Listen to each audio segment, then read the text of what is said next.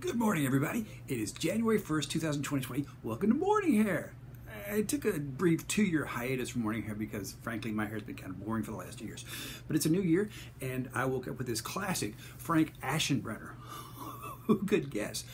For those of you who don't know, Frank Aschenbrenner was the 1949 Rose Bowl Most Valuable Player. He also served in the Navy Air Corps, and here's a fun fact: at the Great Lakes, Great Lakes Naval Station in North Chicago, Illinois, they used to have a football team. And one of his coaches there was a fellow named Bear Bryant. Look at that. So, Frank Aschenbrenner was a great college player. Um, he uh, was drafted by the pros, but I don't really think anything ever came of it. He played for Cleveland for six games, but they wanted to take him from offense to defense, and he just wasn't interested. He was inducted into the Rose Bowl Hall of Fame in 1993, along with great Michigan coach Bo Schembechler and some guy named Orenthal James Simpson. I wonder what happened to him. How is he doing these days?